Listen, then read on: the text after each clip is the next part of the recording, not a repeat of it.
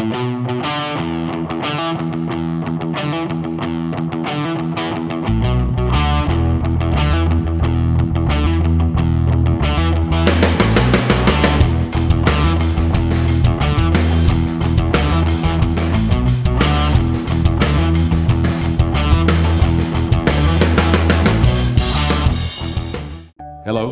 this is Chief Robert Frederick of the Palmer Police Department, and I'm here with our friends from M-PACT with another episode in our chronology of the construction of the Palmer Police Station.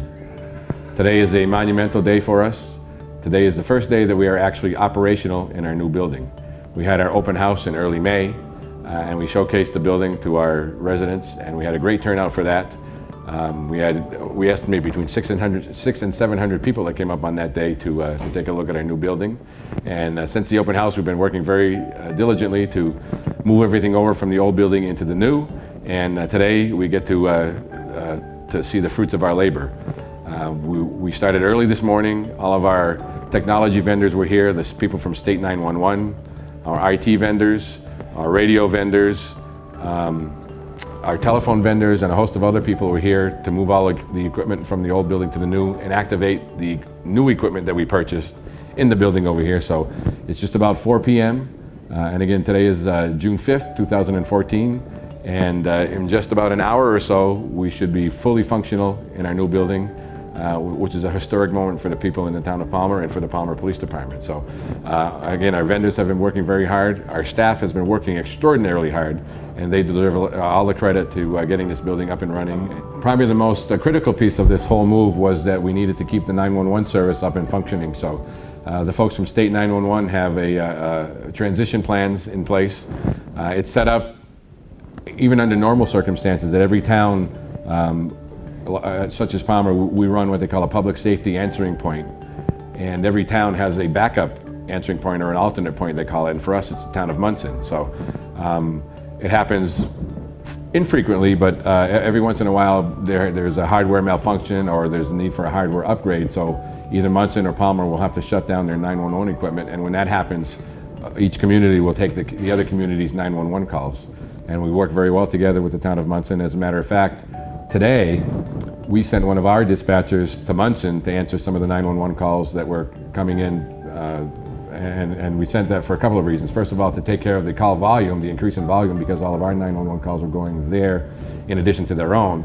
But also, we wanted someone from Palmer to be there uh, should someone from Palmer call, and they would have, then our dispatcher would have the local knowledge of, uh, of anything that they're, they're, any service that they requested. So that, that was helpful too. So, and the same thing is going to happen. The folks in Monson are building a new town hall and the police station, and, and they're going to be around October or November going through the same thing that we did here today. So I have every expectation that a dispatcher from Monson will be here on that day uh, to make sure that the 911 calls from the residents of the town of Monson will be answered appropriately. Um, well, today we did make the move over from the old station to the new station. Uh, it's been very hectic with several different agencies here.